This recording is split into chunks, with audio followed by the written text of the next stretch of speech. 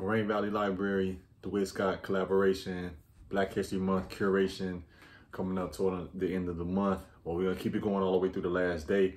Black History Month curation.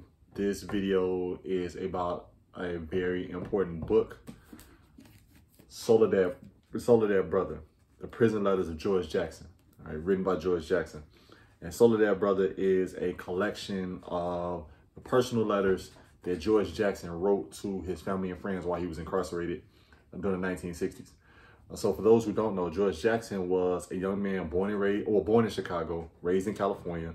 He, um, in the 60s, became a Black Panther.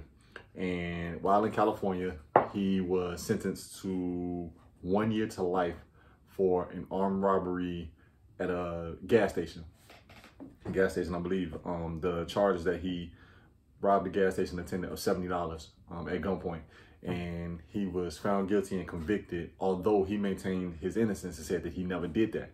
Um, he said he was never part of that, but he was convicted of it and he was sentenced one year to life in prison. Um, after nine to 10 years in prison, he was still there, but he would write these letters. And all, not all, but the majority of these letters are, were collected into a book that he published while he was incarcerated.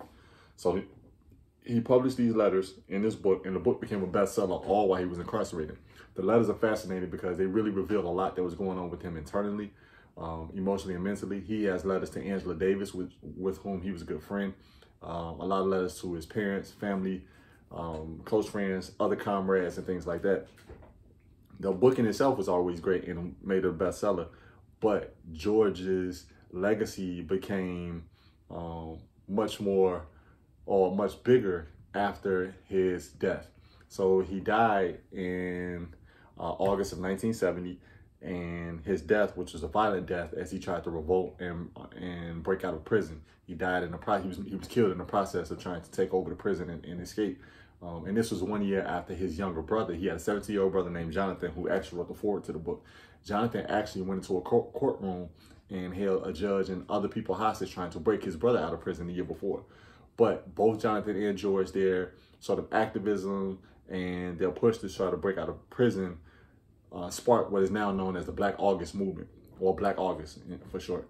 And Black August is using the month of August, or a lot of black activists use the month of August to um, pay homage to political prisoners. It's a month of atonement where participants, they fast, they read, they exercise, they focus on their, what they believe needs to be done to improve the black community. So George's life sort of, or not sort of, definitely is directly tied to that particular movement. But the book is very interesting. I suggest anyone check it out. His personal letters, you get what was going on to him personally. It's called Soledad Brother. So check it out.